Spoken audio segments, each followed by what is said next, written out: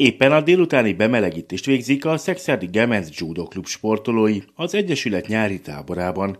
A fiatalok naponta háromszor edzenek itt egy héten át.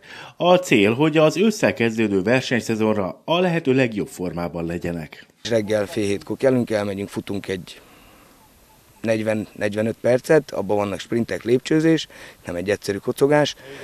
Reggeli, délelőtti edzés, ahol elsősorban fizikai felkészítés van, mint mondtam, alapozó tábor, délután pedig itt kint dolgozunk a napfényes nánai dombokon.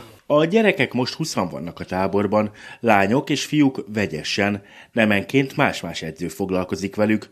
A fiatalok a következő héten sem pihennek, előbb Moson-Magyaróváron folytatják a felkészülést, majd az Egyesület szexádi termében teszik ugyanezt.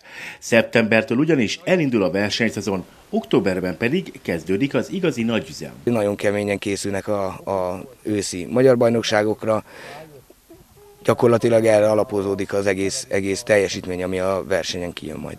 A klubnak több igazán komolyan vehető fiatal sportolója is van.